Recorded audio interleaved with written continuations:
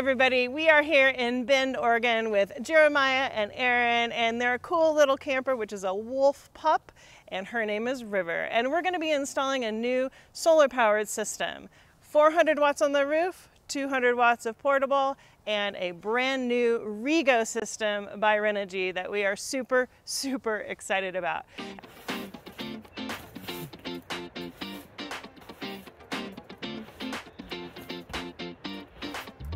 Our first step was to figure out where we wanted to put our new Renogy solar panels. Laid the cardboard out exactly where we want the panels to go.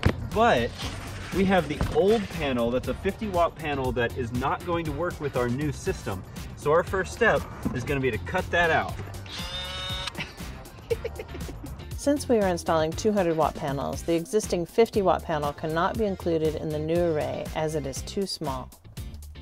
We also removed the existing lead acid battery and tiny charge controller that came with the trailer.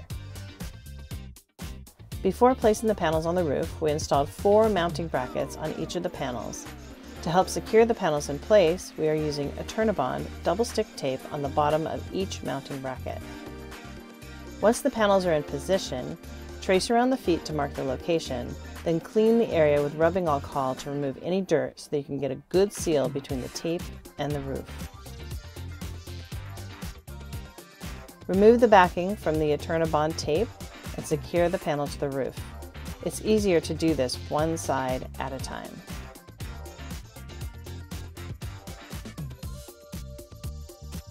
Now it's time to drill in the self-tapping screws that come with the panel kit. Add some Dicor sealant to each screw before completely securing the panels to the roof.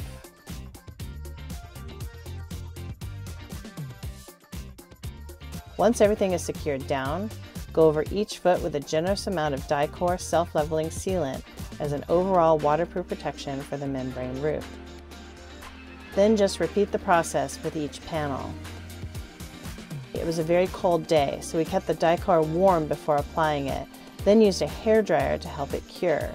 This process worked very well even with temps in the low 40s. In order to pull the new solar panel wires through the roof, we removed the old cable entry housing and plan to reuse it. The great thing about Dicor is that it never fully hardens, so if you are careful, you can remove the old Dicor, clean the surface, and reuse the cable entry housing. So X marks the spot where the cable entry housing is on the roof.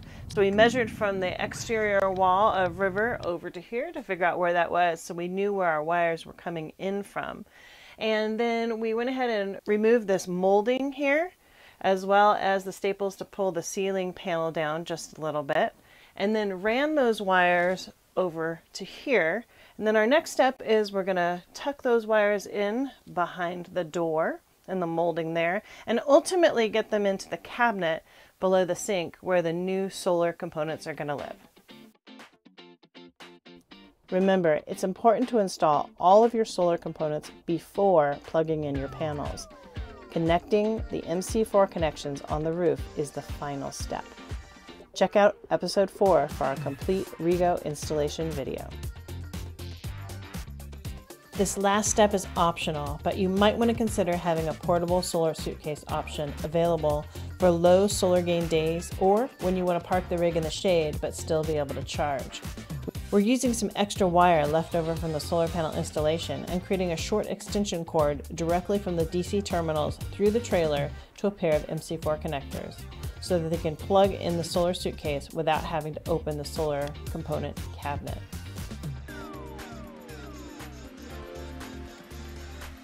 We're not tying this panel into the solar charge controller along with the other panels as this 200 watt solar suitcase has its own built-in charge controller so this remains a safe charging option.